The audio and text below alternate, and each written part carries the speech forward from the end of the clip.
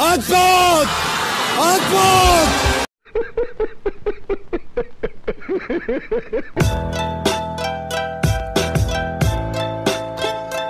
तो गाइज़ मैं आपकी जानकारी के लिए बता दूँ आप कुछ ऐसा भी अपने घर में या आस पड़ोस में या कहीं भी बाहर ऐसा करने की कोशिश ना करें वरना लात भूसों से आपका गुस्सा भर दिया जाएगा